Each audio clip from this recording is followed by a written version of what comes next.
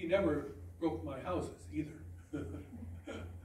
but uh, still, forgiveness made us able to be friends in spite of this little confrontation. Okay? Okay, you release your anger and resentment and hostility. You begin to feel empathy and compassion. Wow. Sometimes the people have hurt you, you can even get to like them. Right? Wow. And uh, of course, there's a difference between loving people and liking people. Isn't that right? there's lots of people that we can dislike. The Pharisees weren't likable men, but Jesus loved them, didn't he? Because he cared about their eternal salvation. Okay? People, forgiving people have more are more satisfied with their lives. They have less depression, less anxiety, less stress, less anger, less hostility. Wow. The Fetzer Institute found out that almost two thirds of all Americans say they need more forgiveness in their personal life. That's two out of three people, just almost. Okay? So, making forgiveness part of your life. Forgiveness is a choice. And uh, you can choose. You're choosing to offer compassion and empathy to the person who wronged, wronged you. And uh, I've had some bad things happen to me. My partner stole, I went on a vacation, first time in three years. Uh, and uh, when I came back uh, a month later, she had stolen my whole business. And she fired me. my partner, she fired me after my first vacation and took the whole business in my father's office and expected my father to give her patients in the physical therapy.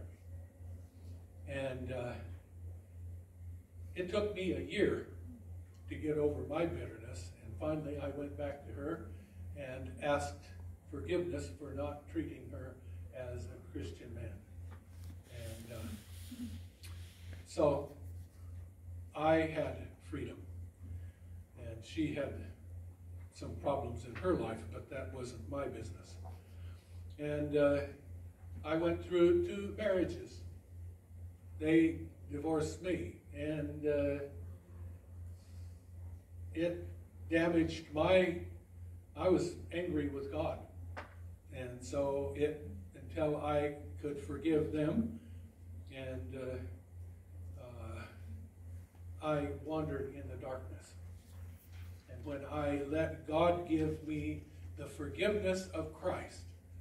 Forgive them, for they know not what they do. See? And uh, then I was able to grow again. So, reflect and remember. Okay? Uh, this you have to you have to think about the events and how you reacted.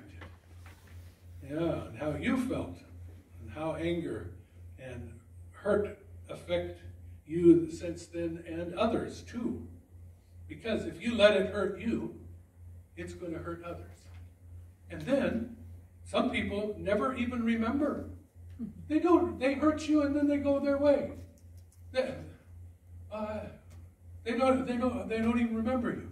But you allow them to continue injuring you when they're gone and you forgot they've forgotten you. See? And so that's what God wants us to do in forgiving them to escape the damage they continue to do us because we do to ourselves when they're gone their, their way and they've forgotten us.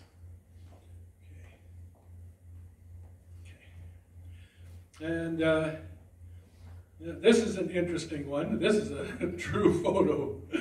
You see, you can see the people out there, some of them are falling all by themselves, and some are falling with, but there's a group in the middle that are relying on each other and gaining empathy and uh,